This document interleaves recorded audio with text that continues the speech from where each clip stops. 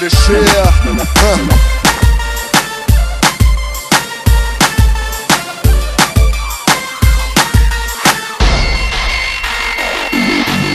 jeg ser ut på himmelen, så står jeg der og lurer på om den kanskje i morgen ikke er så for jævlig grå. Regnet faller litt hardere på disse breddegrader. Så drømmer jeg vekk til Playboy-matchen og forkledde damer. Sol og sånne fargede paraplydrinker. Så når man får for mange, går man rundt og spyr lilla. Og flossete stokkere heter brunetter og kanskje en blond. Og så stor som skiller, man blir skutt når det er jaktsesong. Men våkn opp, mann, du er ikke kommet der ennå. Det eneste du player nå, er PC og Nintendo. Men jeg skal komme meg der, og det på egen hånd. Og jeg er der aldri motherfucking år, da er det sånn. Er nok av sånne idioter som vil gi til norm for å være en kvise på rumpen til Mozart. Jeg nøyer meg ikke mer som shit og vil ikke følge andre. Som er drømmen om storhet, så fortsetter jeg å vandre. Vil jeg noen gang komme dit? Masse damer drikker og en sval sommerbris. Vil det livet som jeg har nå endre seg? Eller er bitchen som er livet helt evnevei?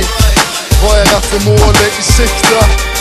Komponeringen, er kode gjennom Huh.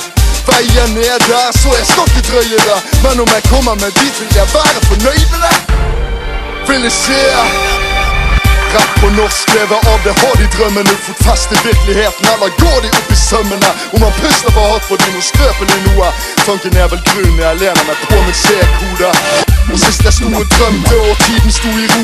Om første dagen jeg ser en soloppgang i Tokyo, har firmaet gått til biler nær Ferrari eller Mini-Morris. Tar begge for for spenn som frien da Chuck Norris. Med dialekten min tror alle er stingel, jævla tinkerbell som later som de er kriminelle. Selv er jeg over det nivået, så river ulvekostymer av hår og jeg pælmer det av gårde.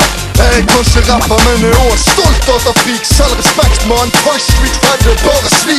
Alt er mulig, så ikke fortell meg hva jeg kan. Og hvis jeg tar feil, gir meg enveisbillett tilbake til land. Vil jeg noen gang komme dit? Masse damer drinker og en sval sommerbris. Vil jeg livet som jeg har nå, endre seg? Eller er bitchen som er livet helt evneveik? Har jeg rett til målet i sikte? Komponeringen, kodingen og diktet. Veien er der, så jeg skal ikke drøye det. Men om jeg kommer meg dit, vil jeg være fornøyd med det. Vil jeg noen gang komme dit? Masse damer drikker og en sval sommerbris. Vil det livet som jeg har nå, endre seg? Eller er bitchen som er livet helt evnevei? Har jeg rett til målet i sikte? Komponeringen, kodingen gjennom diktet. Veien er der, så jeg skal ikke drøye det. Men om jeg kommer meg dit, vil jeg være